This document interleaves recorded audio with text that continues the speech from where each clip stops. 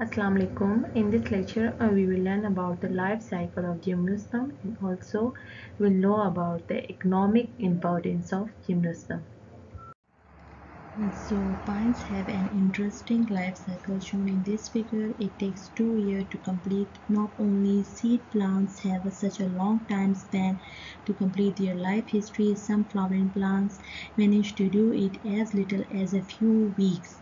The sporophyte, as in all other vascular plants group, is the dominant photosynthetic part of the cycle. Remember students, when you are holding pine needles in your hand, you are holding a sporophyte parts. So the pines have a specialized reproductive structure in which meiosis occurs. The pine tree is the sporophyte generation. If you look at the upper left of this picture, bearing both male and female cones. Within the ovule at the base of each scale, scale of the female cones, uh, diploid spores forming cells undergo meiosis, producing haploid spore cells, one of which develop into the female gametophytes, the female gametophyte in turn producing egg cell. In the male cones, meiosis produces the male gametophyte uh, into the pollen. Pollen grains carry sperms are dispersed by the wind and land on the scales of the female cone. That cone is ovuliferous cone. Remember, the pollen grows a pollen tube that penetrate the female gametophytes and conduct the sperm to the egg. The fertilized egg then develop into the embryonic part enclosed in a seed formed from the ovule. The seed is eventually released from the cone, germinate, grows into sporophyte trees. Students, to make it more easy, I will explain each step of life cycle of gymnosperm in the coming slide uh, through animation.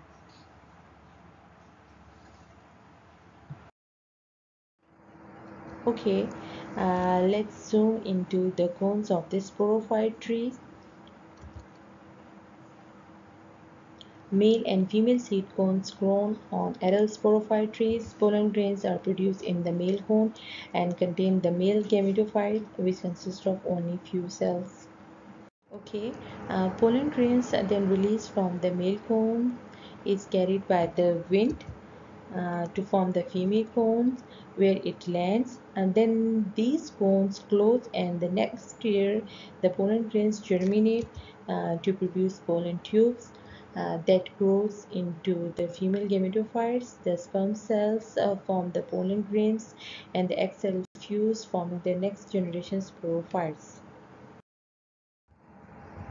Then seeds begin to huddle inside the female cones.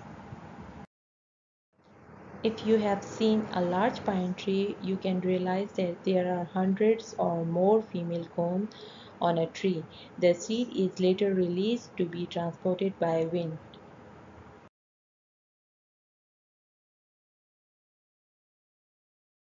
As you know that the conifer seeds are wing-shaped when they when they are released by cones uh, they will float on the wind until they reach to the ground where they will germinate and grow the seedlings uh, then grows into the sporophytes. In this way, the cycle repeats.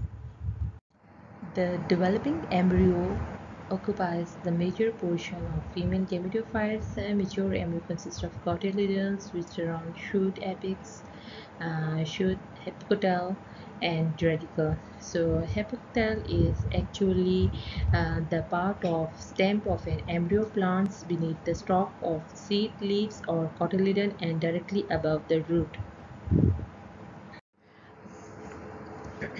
Some of the important uses of gymnosperms are conifer trees provide a huge amount of lumber for construction, for paper production and for resins.